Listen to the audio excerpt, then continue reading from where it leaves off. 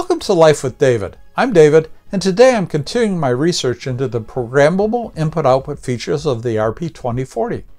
Last time, we successfully and quickly transferred parallel data from a Raspberry Pi Pico to a TIM-based 6502 computer using PIO. But parallel data is easy. Now I'm ready to try some more time-critical applications. Before I do that, I need to know more about the PIO program flow. So why don't you join me as we learn more about the timing features of the RP2040 PIO. This is the fourth video in my series about the RP2040 programmable input-output. We've already used several instructions to write a program to transfer parallel data using handshaking. The next step is to address time-sensitive applications like serial communications or video and audio signals. There are many applications that have been developed to precisely time signals. PIO has several instructions and options to control the time-critical signals. They include frequency, delay, no-op, wrap, and wait. Let's look at an example. Here we have a very simple MicroPython program. We're using the set instruction to turn on a pin and then turn it off. Like the side set option, the set instruction can be used to not only control up to five contiguous GPIO pins, but it can also assign values to the five least significant bits of the X or Y scratch registers, or to control the data direction of the set pins. In this case, we have specified the set instruction to control one GPIO pin. We'll instantiate this program using a clock frequency of 2 kHz and map the set pin to GPIO pin 16. Even though I call it the clock frequency, it's actually the 125 MHz system clock frequency divided down for use inside this one PIO state machine. 2 kHz is the slowest stable clock speed we can use on the Pico. Any lower than that, and the clock could be any frequency. Each instruction inside the PIO program takes one clock cycle. In this case, GPIO pin 16 will go high for 500 microseconds and then go low for 500 microseconds. GPIO pin 16 is connected to the green LED. I've connected this pin to my oscilloscope and frequency counter so we can see what's happening to the waveform. Let's start the program. The scope is set to 200 microseconds per division. I'm measuring a frequency of 1 kHz, which is the clock frequency of 2 kHz divided by the number of clock cycles in the loop part of the PIO program in this case 2. Note that the waveform has a 50% duty cycle. Let's increase the clock frequency by a factor of 10 to 20 kHz. I'll increase the sweep speed to 20 microseconds per division. Again, note that the duty cycle is 50%. The measured frequency is 10 kHz. Again, the clock frequency divided by the number of clock cycles.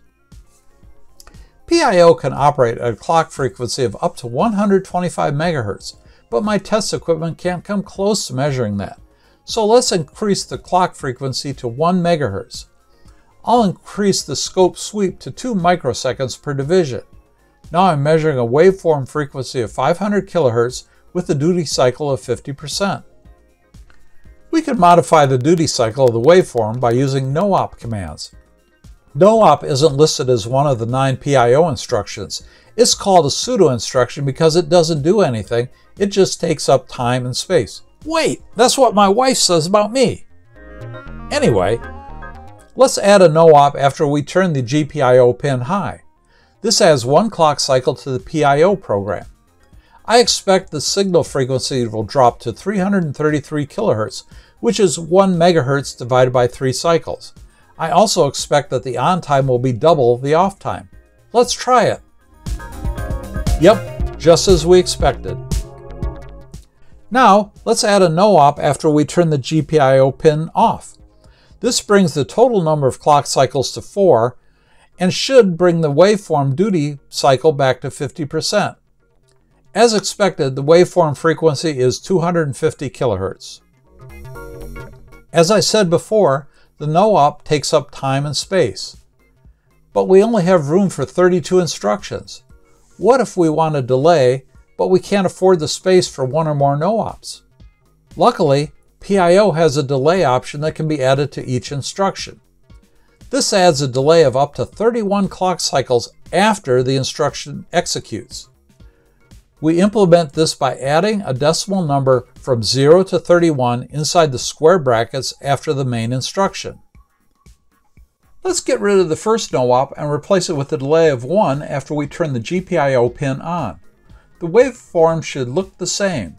I'll stop and restart the program, and there's no difference in the waveform.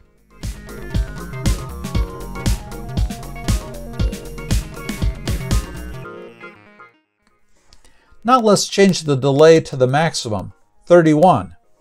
This lowers the waveform frequency since there are now 34 clock cycles in the program loop. In addition, the duty cycle is about 95% since there are 32 cycles where the signal is high and only 2 where the signal is low. Now let's remove the last no-op and add a delay of 31 to the offset instruction. This brings the waveform frequency way down since there are now 64 clock cycles for every instruction loop. However, the duty cycle has returned to 50%.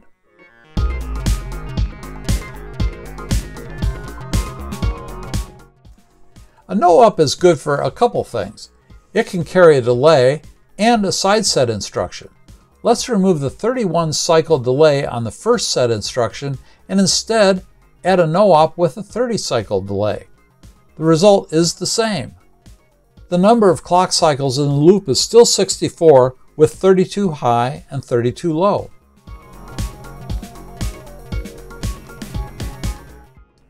For giggles and grins, let's slow the clock frequency way down to 2 kHz. Now the waveform frequency has slowed to about 31 Hz, so you can see that there's a lot of flexibility in frequency selection.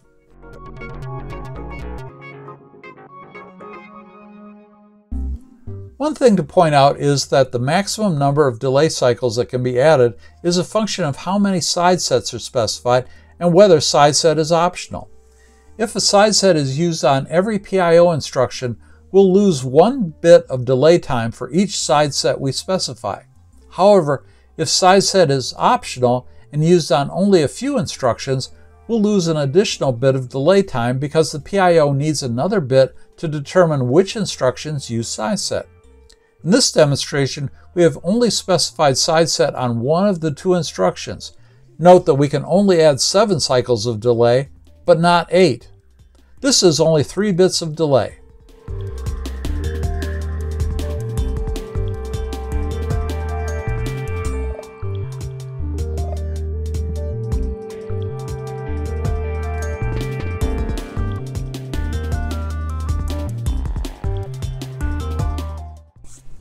However, if we add side set to all the instructions, we can add 15 cycles of delay, but not 16, which is 4 bits of delay.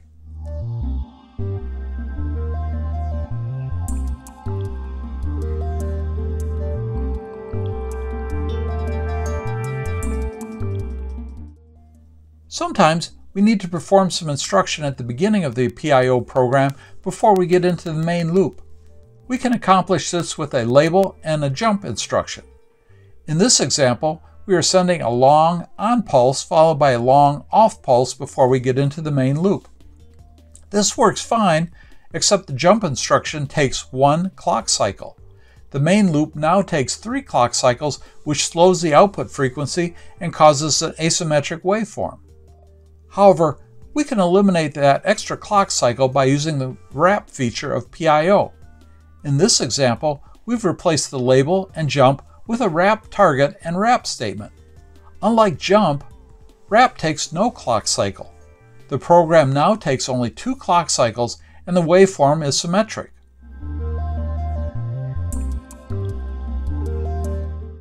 The last item on the timing list is the wait instruction, which is an instruction that stalls the PIO program until some condition is satisfied.